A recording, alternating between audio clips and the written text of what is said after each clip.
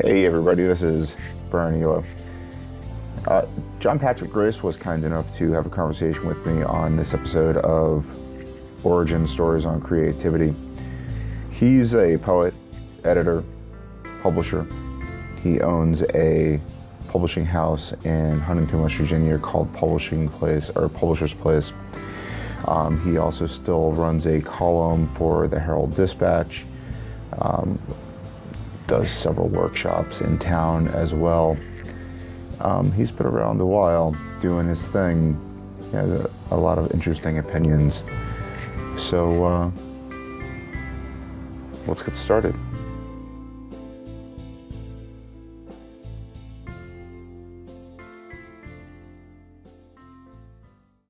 Thank you so much for joining me today. It, it, uh, it's, real, so, it's so cool to talk to you. So, um, Okay, well, it's good to be able to do this. what? Uh, so you used to be a uh, a co-host at a radio station. What what what, what did you Uh, co-host? it's, it's Kindred Communications in um, in Huntington. Um, I believe the the station was uh, 104.9, but I'm I may have that wrong. Um, they they're both F- FM and AM, and the company overall is called Kindred Communications. what what was the uh, programming about? Uh, this was a, a once a day talk show on political and social issues, uh, often local, sometimes on a state level, and sometimes we dealt with international issues or questions of health or even economics. Uh, and the, the uh, co host was a former mayor of Huntington, Jean Dean, who was actually a, a Brit, London born. Oh, really? How did he end up being the the mayor of Huntington? Uh, Interesting. she when she uh, left off being mayor, she was looking for things to do, and then her husband died, who was an architect. So she was really kind of rousting around for something to do, and she hit upon doing this radio show. And so she doesn't have that show anymore. They they, they made a change in format, but um, any case, it, it, the show went on for a number of years. So you you've lived a pretty interesting life. Uh, I know you started out well, as far as I'm aware, you you ended up in Chicago at some point. Is that where you're from? Well, I was born and raised in Chicago. okay. I spent uh, five years studying for the priesthood and order, missionaries of the Sacred Heart. So that was out in the Fox River Valley, about 40 miles west of Chicago, Geneva, Illinois. I didn't stay in the seminary. I went to Loyola University in Chicago, majored initially in English, switched my major to history. Was it Uh, uh, I had a year- literature or did you do Uh, writing? well, it was the English major didn't last long enough for me to focus on something. I, I before I could focus it that way, I switched to history. oh, really? Uh, yeah. What about what about history appealed to you? Well, actually, I wanted to be in journalism at that point, and I had I, I had a part-time gig taking classified ads for the Chicago Tribune. So I went into the big major newspaper building every uh, well, not every day, but three days a week, a part-time job while I was going to school, and took classified ads. And I got down on the news floor at one point, and um, an editor was very high up, uh, gave me a short interview about getting into journalism, and he said. Uh, you should major in history. much better than English. So, long story short, I switched my major to history. Um, anyway, haven't regretted that. No, it's an interesting subject. I had debated myself. History ended up taking creative writing, and eh, maybe I regret it. Who knows? Uh, so, in history, where did you um, dedicate yourself towards? Did you have a particular?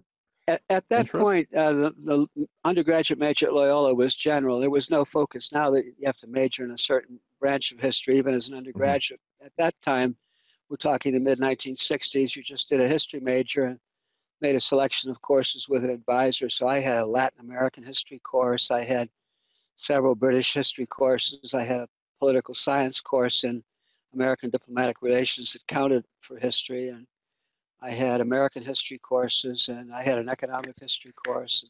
So I got a smattering of courses, which I, I thought was pretty good instead of just, you know, you're going to do only British history or something like that.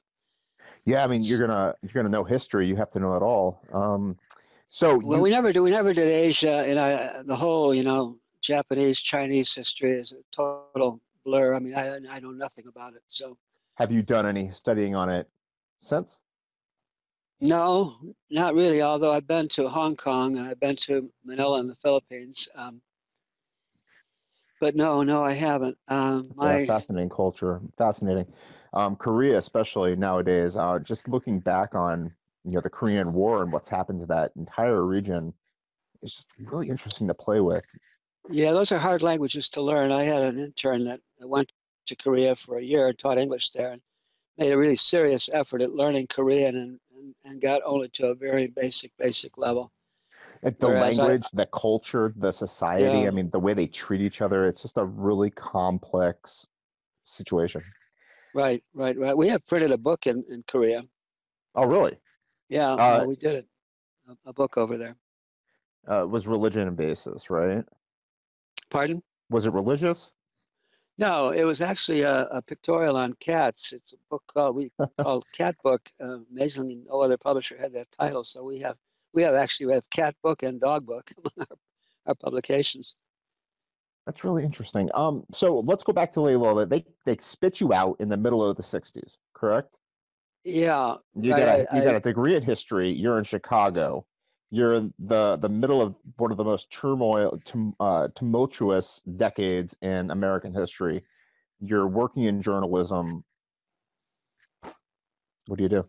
Well, sort of, not quite. I mean, when I was an undergraduate, I was on the on the newspaper. That's true, and then I was uh, copy editor for the Loyola Yearbook one year. Um, I wouldn't exactly call that journalism yet, and then I uh, got into the Columbia Journalism School for a master's degree. So that's really getting into journalism. So my year of 64, 65 was at Columbia in the journalism school. And that was that was a pretty turbulent period. That's right. Lots of things were happening. There were riots going on around the country and Vietnam War protests and everything else. Uh, do you have an affinity towards uh, to Chicago as a as a hometown, or when you left it, you left it? Well, actually, I, I got to a point in my life where I really preferred smaller cities. I've lived, I've, you know, I lived in big cities. I uh, grew up in Chicago, uh, lived in New York twice uh, for a year each time.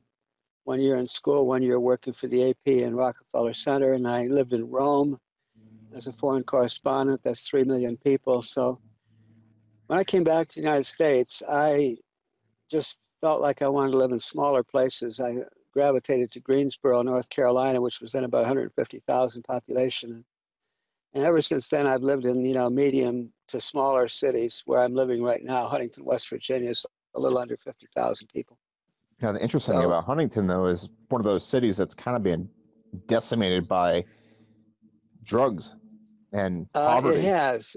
I, there's a lot of irony here. We just won the Best Community in America award Really, among communities of this size. I mean, the big cities were not in play. It was communities, you know, in the, in the range of maybe 50, 50 to 250,000. It's And but the best, it's the best community award was not based on, uh, do you have all the best amenities, best education, cleanest air, blah, blah, blah, lowest crime rate? It, wa- it, it's ironically was not based on anything like that. It was based on what are your problems and what are you doing about your problems. So it was the city that won, which we, Huntington did, was the city that had the best plan for coping with the urban problems we have. So What- that was what's the basis what's of the Huntington's plan? Well, I mean, obviously, drugs, as you just mentioned, are very Yeah. high. We have a very high uh, uh, opioid addiction rate here, and consequently, there's a violent crime too that goes with the drug dealers. Um, and so I'm, you know, I don't know all the details of the plan, and I'm a journalist here. I, I have a column in, in the paper, but Mhm. the I'm intending to find out. Um, but we want on the basis of uh, what are you going to do about your problems? I know a lot of it has to do with um, rehabilitating uh, questionable neighborhoods, marginal neighborhoods, and expanding broadband in, in the community and building in some uh, maybe opportunities for new industries to come in. I think it has a lot to do with things like that. You know, Amazon has a foothold there now, and some other call center type businesses. It's a yeah, it's, well, I know it's a call center, but um, there are several neighborhoods that they really want to rehab and um, and provide better op- op- educational and cultural opportunities for people in those neighborhoods, and then overall get broadband to everybody. And um, so those are some of the things they, they put in the plan. But whatever they put in there, we won. over all these Well, other communities we're trying to winning is win something. I mean, do you think that Huntington's got a shot? Do you think small town America has a shot at winning going forward?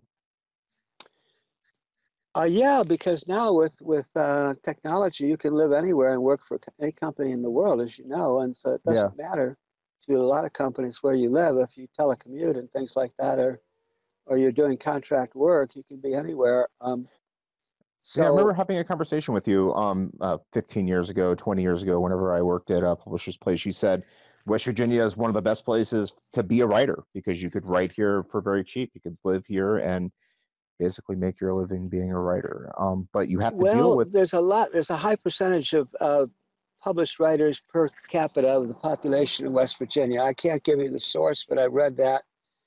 I kind of believe it. We don't have many publishers in West Virginia. We're one of them. We have a, you know, we have a a co-op, uh, not-for-profit regional publishing company here, but there aren't very many publishers in West Virginia.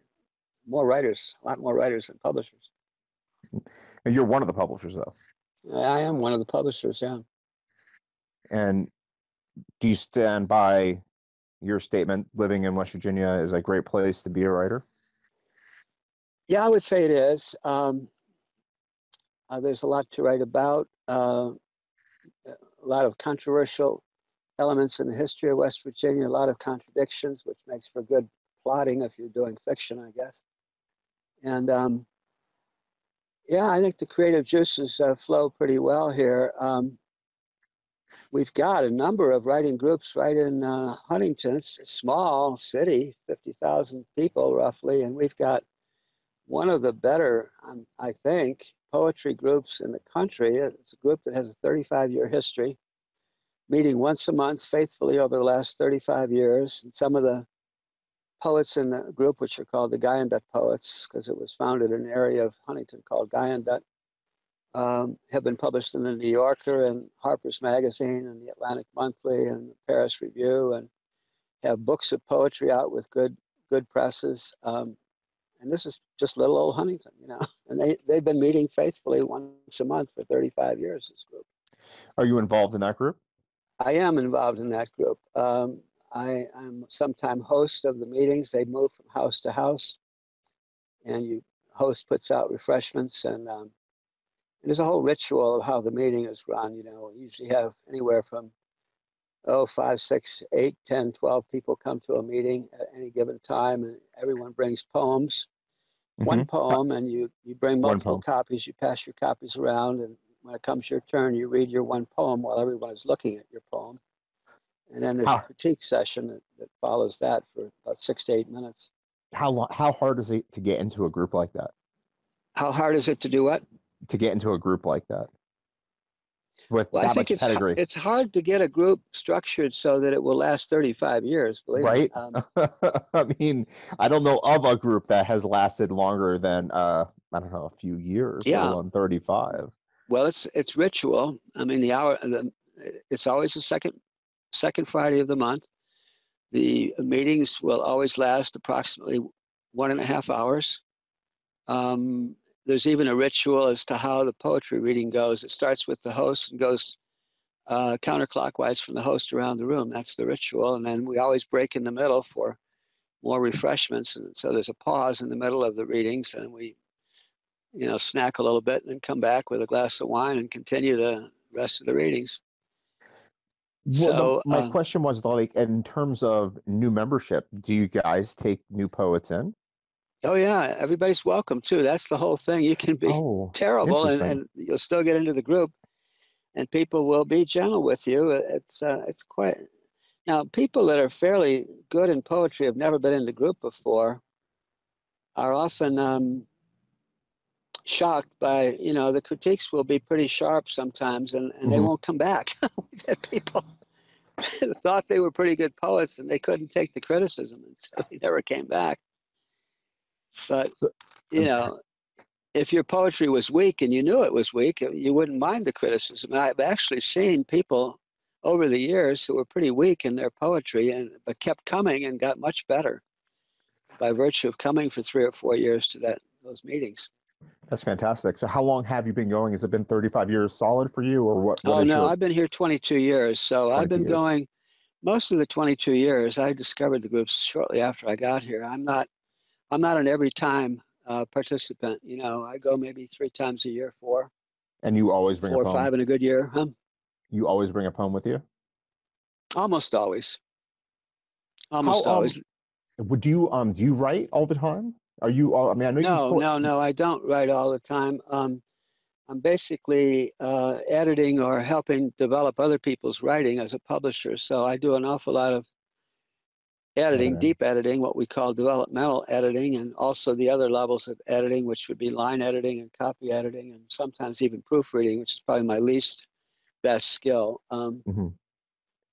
and With, I, uh, you know, I write a column every week for the paper, and, So if I I'm put going to get a collection of my columns together, huh? if I put your feet to the fire, what term would you associate with yourself?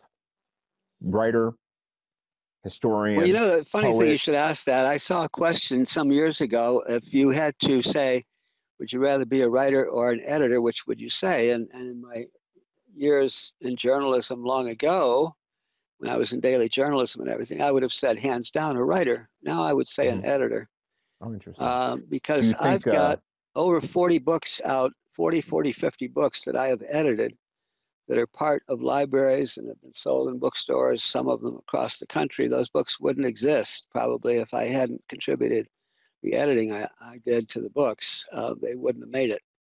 So no, couldn't you couldn't you say the same thing with publishing too? Could you call yourself a publisher? Isn't the number substantially more in terms of how many books you put out into the world for I've edited? I've edited more books, many more books than I've published, but Oh, interesting. Okay. I just I like the process of publishing. I like the idea of helping people uh, get books really market ready so that they can be competitive in the bookstores and things like that. Um, we work hard at that. Um, as a small publisher, we haven't put the time and energy and creativity into sales and marketing that we really would like to have because we're always working on the next book, and that's the problem. And so our books maybe maybe we do a book that sells 1500 copies you know but if that same book uh, without changing a comma were published by a major publisher they would find a way to make that book sell 15000 copies you know Mhm. Well, they wouldn't. so that's kind of the right? anguish there of small publishing um, How do you um how do you feel about publishing nowadays with the whole advent of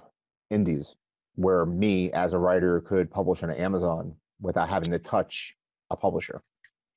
uh, amazon is you know widely considered the number one enemy in publishing by people in publishing companies but No doubt. Uh, uh, that there's a whole story there and you probably have I'd yeah and now it. I mean, amazon is going to do their own brick and mortar bookstores you know. I hadn't heard that.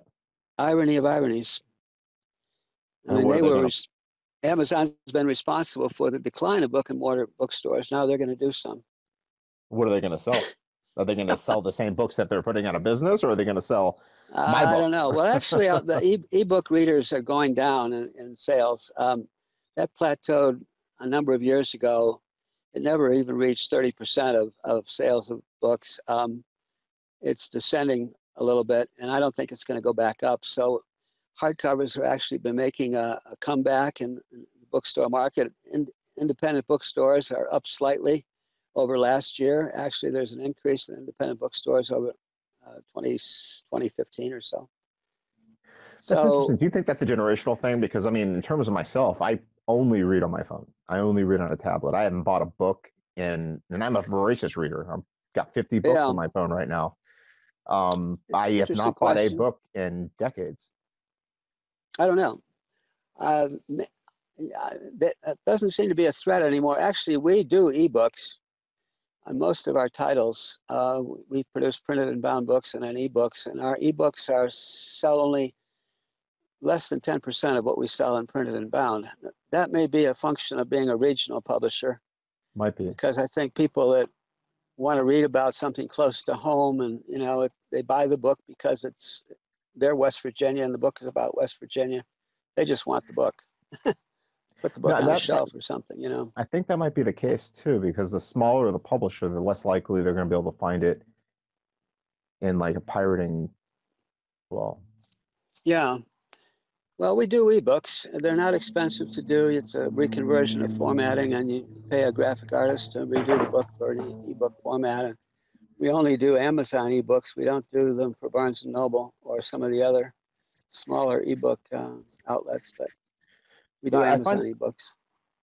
I find the argument very interesting because it does there is an artistry to it that is up going away. Um, if you I could do an ebook. I have done an ebook. It looks good. It looks fine. I could do a cover by myself in my basement. There's nothing really to it. But if I wanted to do a bound book, I would have to get a team of uh, people together to put that together. I couldn't Right. do myself. Yeah, I don't do them myself. I'm not technologically up on that, but uh, we, we hire somebody to do ebooks for us, and they do a good job. Um, to get back to the subject of uh, of writing groups themselves, the poetry group is not the only one that you do, though. I don't think. Uh, no, we have other groups in Huntington. We have, uh, amazingly, we have other writing groups. I teach a life writing class, That's what I thought. and that Um, class has a 16 year history. We had over 400 people through that class. you're still doing that. 51 books have been published by people that have gone through the life writing class. That that's that's amazing to me is that you're not just publishing books you're not just editing books you're actually helping people produce the books too and the poetry Yeah, and, and by and large, these are people that have never written a book before. They may have written magazine articles or newspaper articles or newsletter pieces, but they've never written a book. Um, some of them come in as pretty good writers, some of them mediocre writers, some of them kind of weak writers, but I think everybody improves a bit, and even some of the weak writers have gotten to the point where, with good editing, you know, they can they can get out a book. so so- let, let's go back to the beginning um because i'm i'm curious as far as who you know patrick grace is he's a writer he's an editor he's a publisher he's somebody who has a a hunger to help people tell stories. Why did you go into the seminary? Why did you want to be a priest Why did I want to be a priest? Well, I grew up Catholic. I grew up uh, as an altar boy as well. I was an altar boy at my grade school. As an altar boy, you're very close to the mass. You have a, you know, you're right there when the priest is holding up the host for consecration, everything. You're right underneath all of that. It's very close to you. You're right there where the priest is speaking out the words of the mass to the congregation. So something, a spark kind of transfers to a lot of altar boys. I think they at least think of themselves possibly as becoming a priest. So I, I'm sure that had something to do with it. do you think that had anything to do with your desire to to write To do what? to to write to to see Yeah, I did more. want to write as I did want to write as a priest. As a matter of fact, that, that order I, I went through the seminary with had a magazine, and I saw myself as as contributing, you know, articles to their magazine after I got, you know, became a priest. Uh, but um, so curiously now, I, I probably can do that because now I'm back into the family, as it were. I've I've joined their lay associates, so I'm a lay missionary of Oh, the Sacred Oh, Heart. really? Yeah, we have Have- a chapter of that here in Huntington now. So um, then English did not pan out, which is fascinating to me that you wouldn't have stuck with uh, literature as your pursuit. Well, it didn't pan out it, because I. It wasn't that I didn't want to continue with English. It, I didn't really want to do a double major. I mean, college is hard enough without double majoring in English and history. Um, um, I've got a daughter.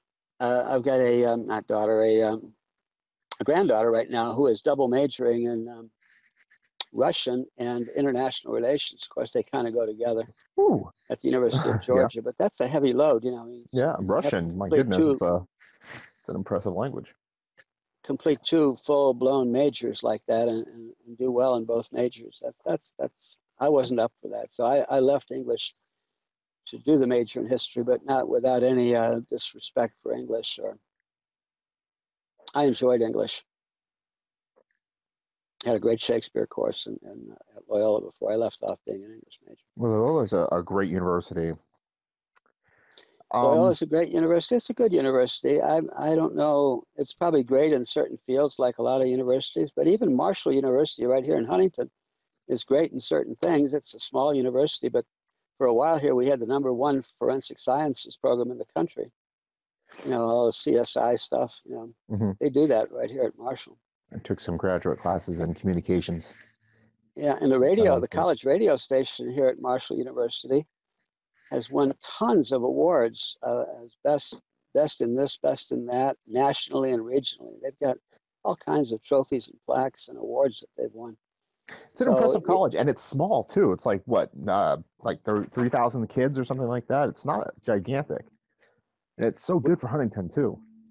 Yeah, well, did you So did you mention. DePaul? DePaul, no, what's DePaul? Oh, DePaul is another Catholic university in Chicago. I thought you. No, what, what, what, what's uh, the significance? Oh, I thought I just thought you mentioned it. You mentioned something that sounded like the Paul. What was that? You just asked Uh, me a question or made a comment about. it must have slipped my mind completely. But you know what was on my mind? How long did you spend in Chicago after you graduated college? Well, I I have spent altogether in my life probably about hmm, 16 years in Chicago. I, I grew up there until eighth grade. Then I five years in the seminary away from Chicago, and then altogether uh, two years of college in Chicago, and then one year of junior year abroad in Rome, Loyola Ah, Center. Rome is beautiful. You didn't like Rome. I do. I, I do like Rome. I, I spent six years in Rome. I was I was loved a I- I lived there correspondent for a for little the AP in Rome. Covered the Vatican for the AP for a while in Rome. As an old So, yeah. newspaper man, how do you feel about the uh, the current state of mass media? The current state of mass media. Yeah, the You sensationalism. brought a question. Mass media is here. That takes in that takes in movies and well, uh, I guess I, I guess I guess in terms of uh, relaying news. How do I feel about the current state of journalism, maybe, or something like that? maybe yeah journalism? Let's go with that. Uh, well, current state of um, journalism is also a very broad question because you've got national journalism and you've got national media, and then you've got, um, you know, places like Huntington that have a newspaper and radio and television stations. That's a whole different level of. Let's bring it quality small sometimes, but- How do you feel about uh, the Herald Dispatch? Do you think they're doing The a Herald good job? Dispatch is uh, a newspaper that is, I think, adequate in many regards. There's zero investigative reporting, but investigative reporting, as you probably are aware, is a very expensive undertaking. Mhm. There are legal liabilities with investigative reporting, and sometimes you have to turn loose turn loose a reporter for three weeks on a story and and end up not doing anything, saying no story because we we don't have a firm enough grip on this scandal or something to publish something in the paper. We don't want to get sued. Uh, so there's there's zero investigative reporting. Uh, they tend to play local news, I think, too big over national and international news. But it's a relatively clean paper in terms of not a lot of typographical errors, currently at least, there used to be. And the, the writing of the local reporters is pretty good. So that, that's what I would say. And the sports section is good. They do a good job on sports. And they can basically give their news away for free too with the internet, right? Nobody's actually paying for it anymore. That was a big Nobody's dropping mistake. a. That was a big mistake that almost every newspaper in the country made, giving their, their, their content away free on the internet. They don't You know why they did that? choice, They, though. they, they naively expected advertising to migrate online and replace uh, print advertising. So everybody thinks, though, isn't it?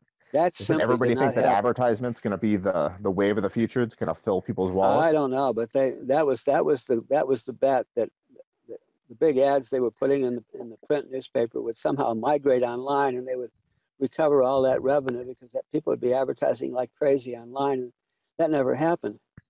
Well, how do you get the revenue then if it's not advertising and if it's not clicks? Well, they went back to relying on print advertising, obviously. So those who's, who's newspapers needed to keep their print editions because they wouldn't have had enough advertising to, to continue if, if they hadn't bolstered their print editions. Actually, the print edition of the Huntington paper has been growing slightly rather than declining. Slightly. It's on a slight growth trajectory. Um, Slightly. so, but you know those big car dealerships and things like that that had double, double truck ads and in the papers and you know where their cars were splashed on pages real big and everything.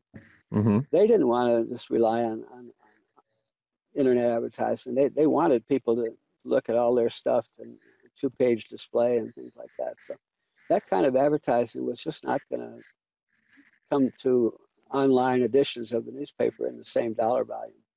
That's interesting, but still, who's buying the newspaper and looking at that advertisement?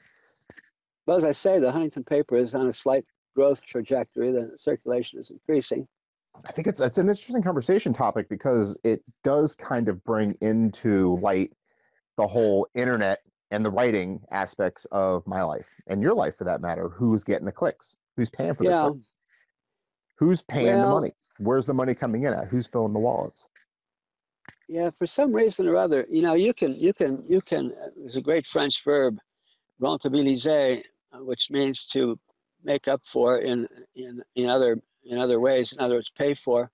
You can pay for your whole year subscription to a newspaper just with the coupons you get. Uh, in fact, you if you used even a tenth of the coupons, you probably double the price of what you pay for the newspaper. I don't know. My wife, she does uh, um, couponing on the internet. Yeah, you can coupon on the internet. If you get cou- coupons on the internet, that's fine too. But but the coupons sort of fall out of the paper at you, so you see them in a way that maybe you wouldn't see them on the internet. Well, I mean, let's let's take.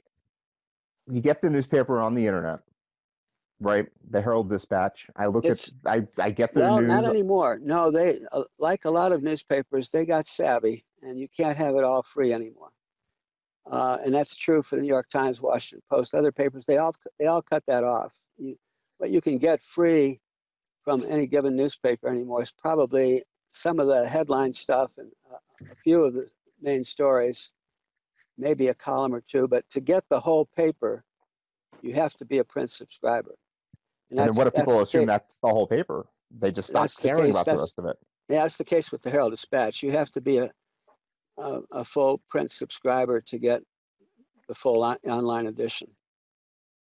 Is it helping?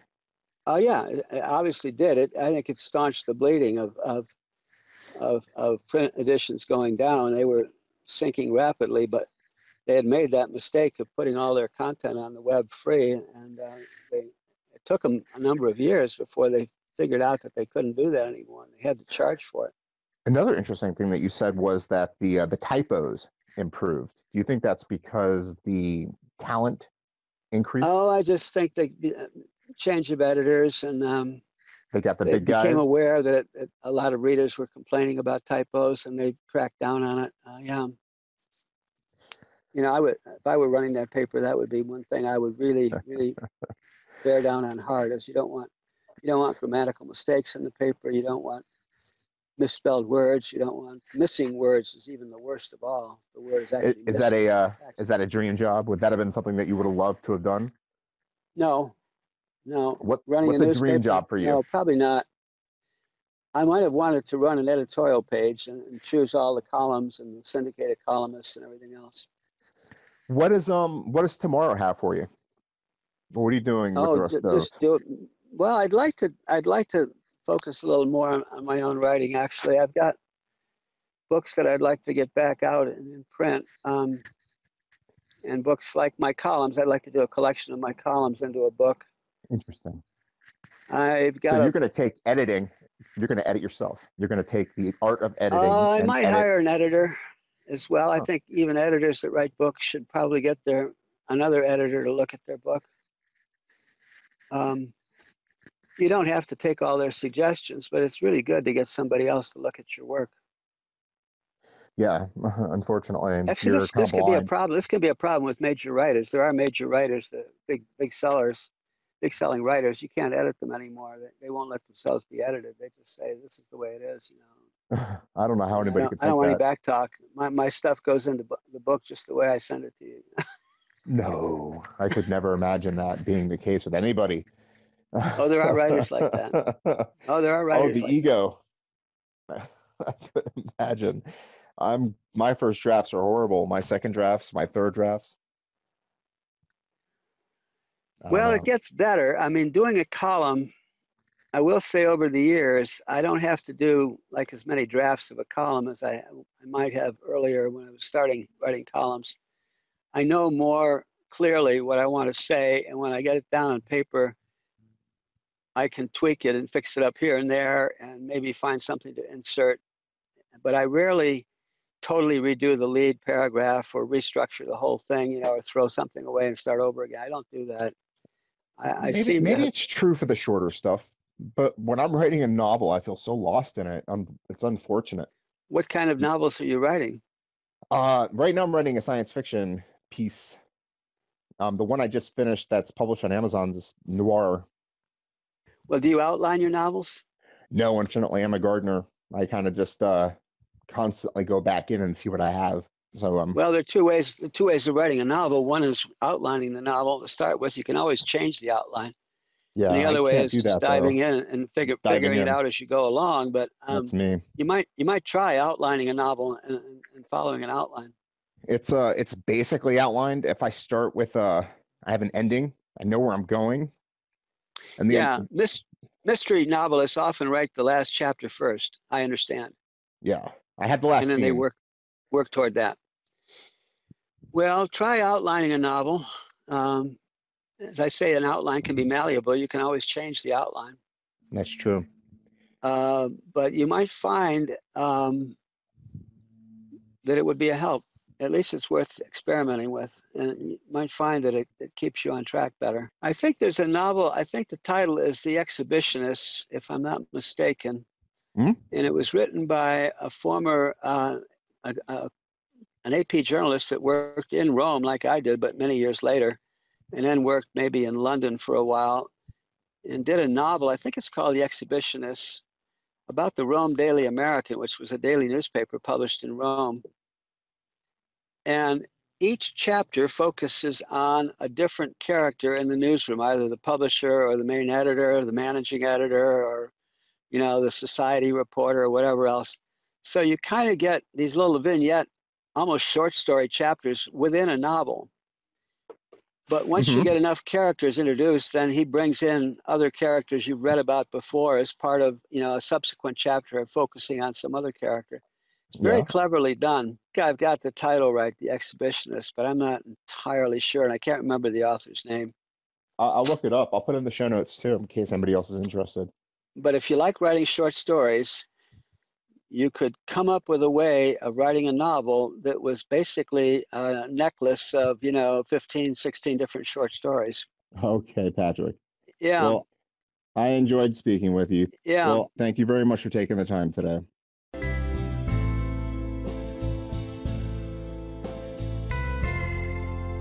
And that was John Patrick Grace. Uh, next up is Sacha Black. She is an indie publisher. She just put out her 13 Steps to Evil. Uh, she's also a very successful blogger. Um, has a great personality. I really enjoyed our conversation. She's number 17 on Origin, Stories on Creativity.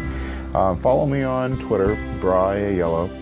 Uh, BryanAiello.com is up and running again. And uh, thanks for showing up. I really appreciate it. Talk to you soon. Bye bye.